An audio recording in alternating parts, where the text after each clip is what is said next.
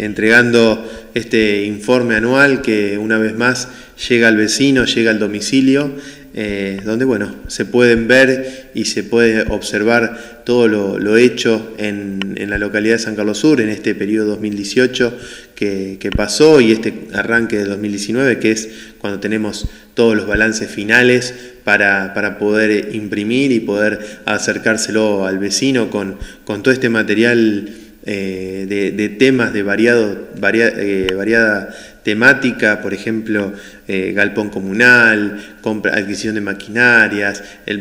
pensar en energías renovables. Una localidad que viene haciendo mucho, bien ojeábamos los balances anteriores porque en la charla previa ojeábamos todos los, los balances anteriores del 2016 que comienza la gestión.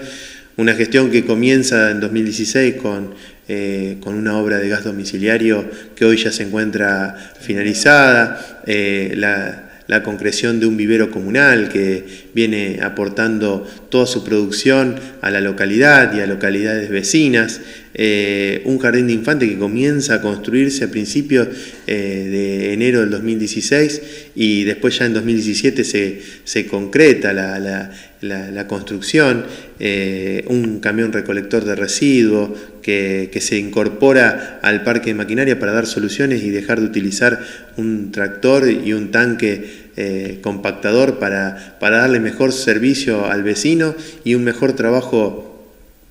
al empleado comunal. Creo que esto del camión recolector de residuos nos permitió ahorrar el consumo de combustible y poder incorporar un día más, siempre pensando para más. Y la verdad que bueno, en el medio de estos, de estos tres balances, de estos tres años de gestión, que estamos transitando el cuarto ya, eh, innumerables obras que, se llevan adelante, ¿no? lo que es desagües, eh,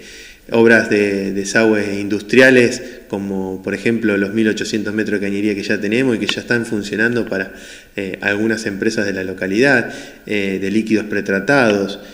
obras que, que van en camino y que hoy concretan, por ejemplo, como el galpón comunal, que estamos a días de poder inaugurarlo y poder ponerlo en, funcionamiento, que es algo tan anhelado por, por nuestra gestión, porque es la manera de poder eh, resguardar toda esta maquinaria adquirida en estos últimos 10 años y que permanentemente estamos renovando y estamos eh, licitando para la compra de nueva y recambio y mantenimiento de, de estas maquinarias, que este galpón comunal va a tener eh, un área de lavado de maquinarias, algo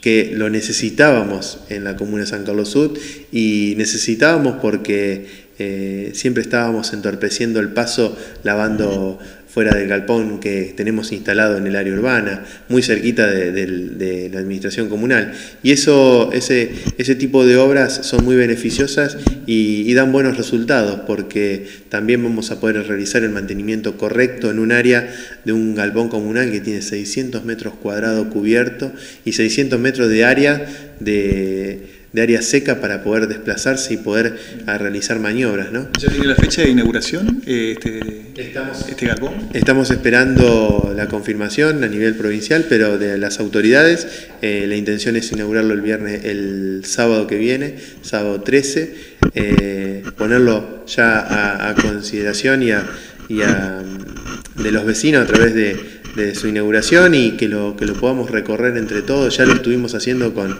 con instituciones, con referentes locales y, bueno, quedaron realmente maravillados porque es una obra construida de cero, una obra que se trabajó en estos cuatro años de gestión, que nunca se detuvo con obras importantísimas en el medio, una obra que hoy está valuada en 8 millones de pesos, de acuerdo a lo que pudimos ir eh, viendo en, promedio según los,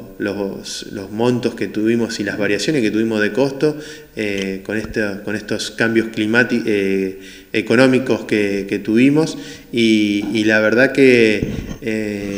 tenemos una obra realmente